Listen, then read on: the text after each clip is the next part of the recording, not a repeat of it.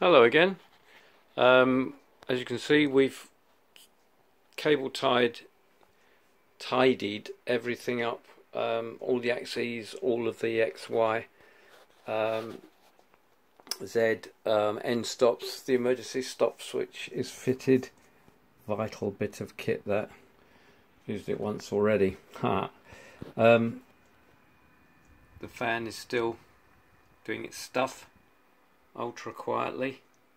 Um, these down here, the stepper drivers are the little boards on the top of the um, uh, subframe um, are um, rated at 2.5 amps. Um, the NEMA 17s run um, at maximum of 1.7 amps.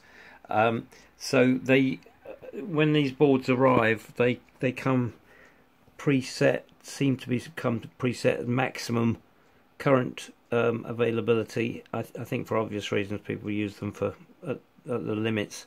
Um, anyway, they run very hot. Um, and they have been running very hot, hence the fan, um, which is apparently ma mandatory. Um, and um, but they just needed adjusting because they don't need to drive that much. So I adjusted them just now and the result was pretty good. This is a test program here which you can't really see. Um, I'll just run that here.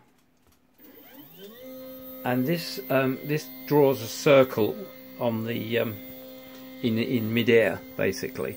It's actually running the, the z-axis down as you can see at the top there till it gets to a certain point and then it starts to draw a circle. Which makes lovely noises.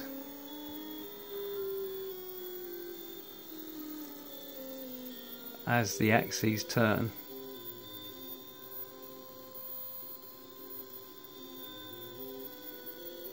Great isn't it?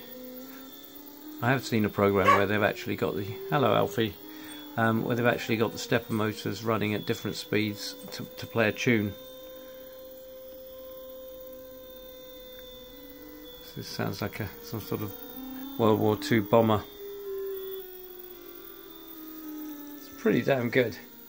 Um, but it's running really smoothly even with the lower um, voltage reference uh, on the um, on the chip so um, that drives and it's much much much cooler in fact, it's not even not even warm. Um, so that was the problem with that.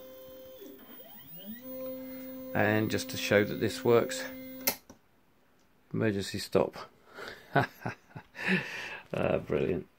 And it comes up on here, emergency stop. So that's that done. Right, okay, so we're ready to do some cutting. Should probably do today. Bit of engraving, maybe I, with a pencil first um, just to check, make sure it's all working fine. But there you go. All axes tested, all running on G code, all seems to be working fine at the moment, touch wood.